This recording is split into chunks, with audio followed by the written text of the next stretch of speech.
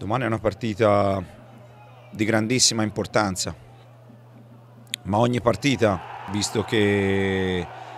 eh, quelle che mancano alla fine del campionato diminuiscono sempre di più e ogni singola partita assume un valore sempre, sempre più grande. Domani è un avversario ostico, difficile, in classifica è vero che in questo momento sono in ultima posizione ma stanno facendo delle ottime prestazioni, vendono cara la pelle in qualsiasi partita e in qualcuna delle ultime uscite hanno fatto zero punti ma non meritavano di uscire sconfitti. È una partita che dobbiamo giocare bene, consapevoli che, come vi ho detto in precedenza, sarà la quinta partita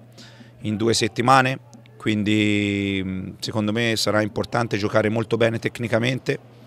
e soprattutto dobbiamo avere la capacità di mantenere le distanze eh, vicine tra, tra compagni e reparti perché dopo tanto dispendio energetico è chiaro che se tendi ad allungarti e a perdere le distanze poi diventa una partita che forse i nostri avversari sono più abili a fare rispetto a noi. Ma sicuramente qualche cambiamento ci sarà, sarà la quinta partita in due settimane ed è fisiologico che ci possano essere dei, dei cambiamenti sempre in relazione a al recupero dei, dei, dei ragazzi perché se ci sono calciatori che pur giocando tanto ma hanno, sono riusciti a recuperare e sono in condizione ottimale